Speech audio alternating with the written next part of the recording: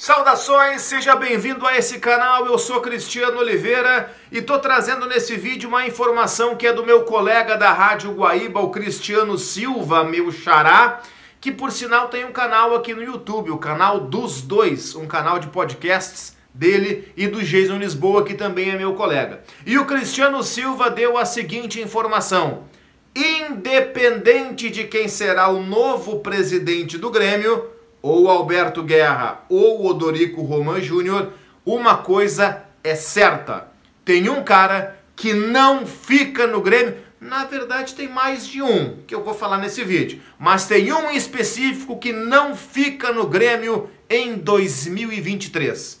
Então, te inscreve nesse canal, vai rodar a vinheta agora, 5 segundinhos, pode contar, e na volta quero te ver inscrito nesse canal, com like deixado no vídeo, pra gente trocar essa ideia.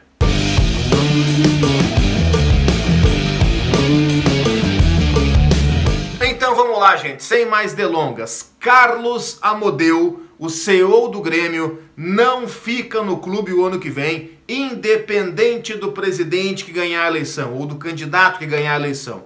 Alberto Guerra ou Dorico Roman. Não ficará no Grêmio Carlos Amodeu, que até bem pouco tempo atrás era cantado em prosa e verso como um gênio dentro do Grêmio. Presidente Romildo Bolzan Júnior chegou a dizer que, olha, em outras palavras, era Deus no céu e Carlos Amodeu na terra. Presidente Romildo chegou a dizer que iria até o final do seu mandato com Carlos Amodeu de CEO e o Renato de técnico, porque esse era o Grêmio, o Grêmio que fazia, acontecia. O Renato tomou um pé na bunda mais tarde do que deveria. Carlos Amodeu segue coladinho com o presidente até hoje. Mas tem muita gente dentro do Grêmio que não suporta Carlos Amodeu e que contesta muito, muito o trabalho do CEO. Tem outros tantos profissionais que não vão ficar no Grêmio, independente do Alberto Guerra ganhar ou do Odorico Roman ganhar a eleição. Não sei se o Roger fica, não sei se haverá ou não reformulação na comissão técnica, creio que sim, tenho quase certeza que sim.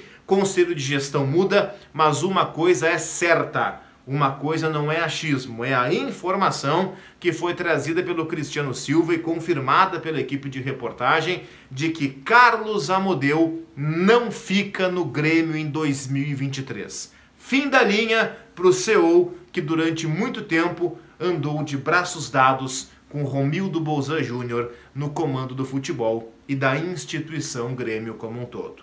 Gostam do Carlos Amodeu? Acham bom o trabalho do Carlos Amodeu? Então faz o seguinte, comenta aqui embaixo. A caixa de comentários está aberta esperando a tua participação. Comenta aqui embaixo, deixa o like no vídeo e te inscreve no canal.